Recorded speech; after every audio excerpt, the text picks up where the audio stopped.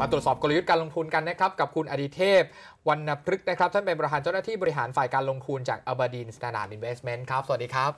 สวัสดีครับคุณอดิเทพครับแหมรอบหลังมานี้ตลาดหุ้นขึ้นมาหนึ่งในผู้เล่นหลักคือกองทุนรวมนะครับบลจเองเป็นยังไงบ้างครับมุมมองกับตลาดหุ้นไทยช่วงนี้ ก็ในช่วง2อสอาทิตย์นี้ก็ครับผมรู้สึกจะมีความสนใจกลับมาในตลาดครับหุ้นไทยอะนะซึ่งตลาดหุ้นไทยเนี่ยก็ underperform หรือว่าไม่ดีเท่าเพื่อนบ้านในปีปีนี้นะครับครับผมแต่แต่อย่าลืมว่าปีที่แล้วเนี่ยเราก็ก็ดีกว่าเขาครับนะฮะ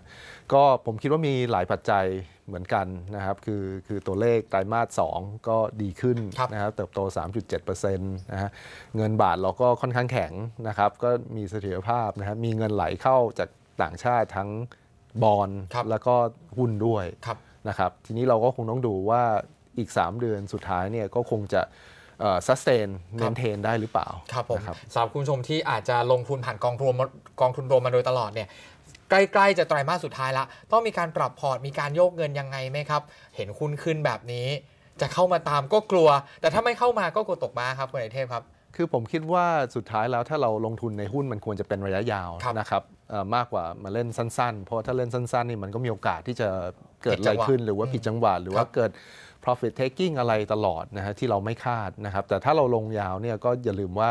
อันนี้ใกล้สิ้นปีแล้วครับก็จะมีกองทุนที่กลับมาในเอ่อน่าสนใจใหม่ เช่น พวกกองทุน LTF IMF ครับนะครับซึ่งในสิ้นปีเนี่ยก็พวกกองพวกนี้จะน่าสนใจอยู่แล้ว นักลงทุนจะกลับมาลงทุนค่อนข้างเยอะ ควรจะปรับพอร์ตยังไงดีครับ ช่วงนี้ควรจะต้องกลับมาเพิ่มน้ำหนักการลงทุนในหุ้นไหมครับ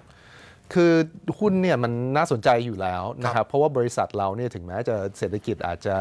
เอ่อไม่ได้ไม่ได้ดีมากในปี 2 ปีที่ผ่านมานะแต่เรามองว่ามันเริ่มที่จะกระเตื้องกลับมานะครับทั้งส่งออกก็ดีขึ้นนะครับเอ่อการบริโภคภายในประเทศก็ดีขึ้นนะมันจะส่งผลต่อให้กับกำไรบริษัทที่มันดีขึ้น เราคิดว่าเวทเนี่ยก็ควรจะ มีพอสมควรอยู่แล้วเพื่อจะบีทเงินเฟ้อนะครับเพราะยังไงดอกเบี้ยเนี่ยเราเชื่อว่ามันจะต่ำต่อเนื่องครับนะครับฝั่งของอัลบดีนช่วงนี้แนะนำให้นักลงทุนทำ asset allocation นี่เราแบ่งสัดส่วนกันยังไงครับเอ่อ มีก็ asset class ไหนบ้างที่น่าสนใจช่วงนี้ ครับ ก็จะมีหุ้นต่างประเทศครับนะครับบอลต่างประเทศแล้วก็หุ้นไทยอืมนะครับส่วนใหญ่ ซึ่งหุ้นต่างประเทศเนี่ยเรามองว่าอเมริกาเนี่ยก็ค่อนข้างจะแพงนะครับอืมเพราะว่านี่ดาวว่าโจนตลอดเลยอยู่ที่ครับ22,000ครับผมนะครับก็จะมีหลายปัจจัยที่ factor in หรือ price in เข้าไปแล้วนะครับครับซึ่งถ้าตรงนั้นเนี่ยไม่เกิดหรือว่าเกิดไม่เท่าเขาที่ตลาดคิดเนี่ยก็จะผิดหวังครับนะครับแต่ว่าก็จะมีตลาดเกิดใหม่นะฮะ emerging market ที่เราเรียกนะฮะหรือตลาดเอเชียครับนะครับซึ่งตรงนั้นเนี่ยก็จะเป็นรายการหรือว่า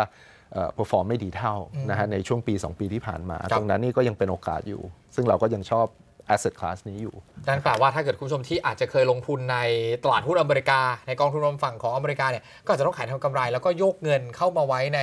กองทุนที่เป็น emerging market แทน ครับ ก็มีส่วนมีส่วนนะครับครับที่ว่าเขาน่าจะลงทุนเอ่อมีสัดส่วนเพิ่มเติมครับในในตลาดเกิดใหม่นะครับแต่ว่าอเมริกาเองก็ไม่ใช่ว่าจะต้องทิ้งไปอืมนะครับเพราะมันอาจจะมีบางส่วน เช่นพวก small cap ครับ นะครับที่ยังน่าสนใจอยู่อืมนะครับก็คงต้องคุยเป็นเป็นรายละเอียดไปนะครับครับว่าผมใครชอบแบบไหน กองไหนเป็นกองที่อัลบดีแนะนำช่วงนี้ครับ คือเราจะมีกองเอ่อ US ที่เป็น smaller อืม company นะครับเรามีกองในเมืองไทยก็จะเป็นกอง small cap ของเมืองไทยครับผม นะครับและแน่นอนก็เป็นช่วงสุดท้ายก็จะเป็นกอง LTF ของของเมืองไทยด้วยกอง LTF ของเราครับผม ครับ อันนี้ก็คือเป็น asset class ฝั่งของหุ้น ถ้าฝั่งของบอลล่ะครับ ตอนนี้บอลต่างประเทศหรือว่าบอลในประเทศน่าสนใจกว่ากันครับ คือบอลในประเทศเนี่ยจะค่อนข้างเอ่อยิวน้อยงๆมากยิวน้อยมากครับมานานนะฮะแต่ว่าไม่ใช่ว่าต่างชาติไม่เข้ามาซื้อครับนะฮะโดยเฉพาะในช่วง 3 ปีเอ่อบอล3 ปีนี่เขาเข้ามาเยอะมากครับนะครับเพราะว่าอย่างที่เรียนไปแล้วคือเงินบาทเราเนี่ยค่อนข้างจะแข็งนะครับมีเสถียรภาพดีนะครับถ้าเป็นต่างประเทศเนี่ยก็เป็นกองจะเป็นพวกไฮยิวนะครับหรือเป็น emerging bond ที่เราชอบ นะครับเพราะตรงนี้เนี่ยยิวยังค่อนข้างสูงอยู่นะครับแล้วถ้าเลือกประเทศให้ถูกต้องเนี่ยประเทศเขาจะมีเสถียรภาพที่ดีด้วยครับนะครับโซตรงนั้นเนี่ยเราชอบมากกว่าบอลที่อยู่ใน develop market หรือในตลาดที่พัฒนาแล้ว บอลในต่างประเทศนี่ลงทุนผ่านกองทุนประเภทไหนครับ ช่วงหลังเราจะได้ยินคำว่า G income ออกมาค่อนข้างเยอะทีเดียว ครับ คือเราเรามีเรามีหลายรูปแบบนะคครัรับบคือเราจะลงทุนผ่านกองก็ได้นะครับ เราก็จะมีกองที่เราเรียกว่า FIF นะคครัรับบผมกองทุนเอ่อ foreign investment fund ที่ไปลงทุน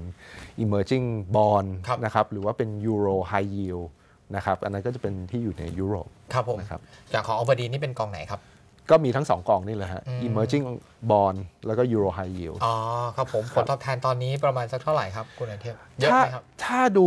ในอดีตนะครับไม่ไม่เลวร้ายนะครับคือครับปีหนึ่งประมาณสัก 5-6%เปอร์เซ็นต์อืมนะครับแล้วในอนาคตจะคาดหวังเรทเดิมได้ไหมครับสำหรับพวกกองผมคิดว่าตอนนี้มันค่อนค่อนข้างต่ำสำหรับ 2 asset class นี้ครับแล้วนะครับแต่ว่าอย่าลืมว่ามันคือคือตลาดเกิดใหม่อืม นะครับแล้วมันก็คือตลาด high yield นะครับซึ่งความเสี่ยงมันจะสูงกว่าหน่อย แต่เขาก็จะมีวิธีการบริหารความเสี่ยงนะครับอย่างเช่น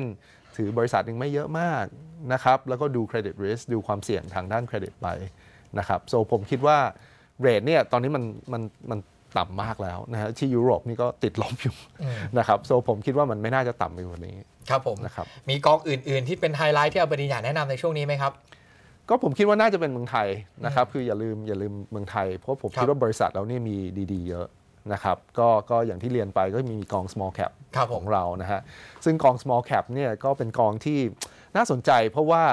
เอ่อเราก็จะลงตามชื่อนะครับเป็นเอ่อครั้งแรกเนี่ยจะเป็น market cap ที่ไม่ถึง 20,000 ล้านบาทนะครับเราก็จะหาบริษัทเล็กๆ นะฮะที่บริหารดีๆนะฮะมีอนาคตที่ดีเนี่ยแล้วเราก็จะลงทุนไปแบบสตาร์บดีนก็คือว่าเอ่อเอ่อดูให้ราคาเหมาะสมดูที่หุ้นที่แข็งแกร่งนะฮะแล้วก็โตไปกับเขา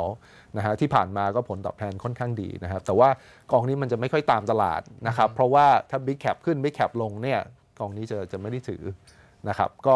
จะต้องเป็นอีกอีกนักลงทุนหนึ่งที่สนใจแบบนี้ ครับนะผมได้ครับ วันนี้ขอบพระคุณมากเลยครับ คุณอดิเทพคครัรับบผมขอบคุณมากครับตลาดหุ้นยังคงมีความน่าสนใจนะครับในมุมมองของอ b เบอร์ดีนะครับปีนี้ยังคงแนะนำให้เพิ่มสัดส่วนการลงทุนในตลาดหุ้นบ้านเรานะครับโดยเฉพาะกองประเภทที่เรียกว่า small cap นะครับวันนี้หมดเวลาของ Money Daily แล้วนะครับผมพิชยุทธคุณอดิเทพคุณอดิเทพและทีมงานทุกคนลาคุณผู้ชมไปก่อนนะครับ สวัสดีครับ